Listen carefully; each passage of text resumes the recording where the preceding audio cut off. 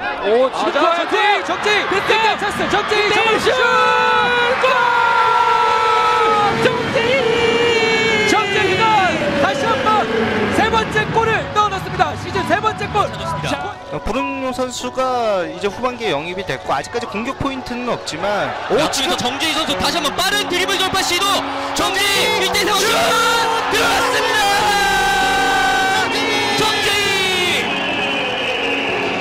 후반전 12분 빠른 발을 이용한 정재희 선수의 골로 FC 안양이 2대 1로 앞서갑니다 자, 좋아요. 풀어 나오는 플레이. 자, 자. 패스예요. 정재희입니다. 정재희 슈팅! 왼발 슛 들어갔어요.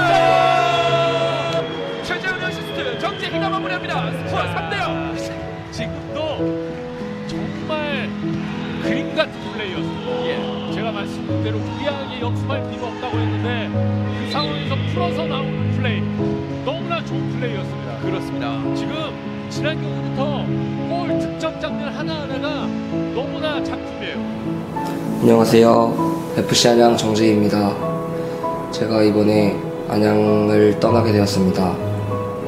제가 입단한 지 벌써 3년이 되었는데요. 지난 3년 동안 저를 너무 진짜 많이 사랑해 주시고 항상 힘찬 응원해 주셔서 정말 진심으로 감사드립니다.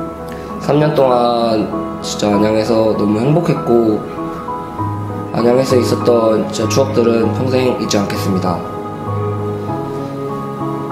어, 제가 안양을 떠나지만 제가 어디서든 항상 안양을 응원하도록 하겠습니다. 안양에 있는 3년 동안 정말 많이 행복했습니다.